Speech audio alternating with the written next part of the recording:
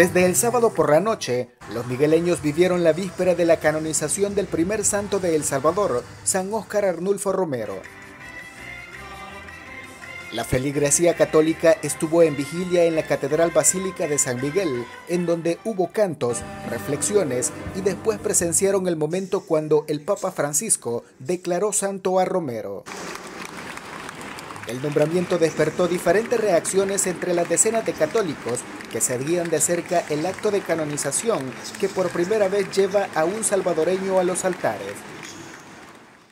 Tras ser declarado San Óscar Arnulfo Romero, los fieles católicos de San Miguel esperan su intercesión ante Dios para que este país pueda alcanzar la paz. Este es un reporte para la prensa informó Juan Carlos Díaz.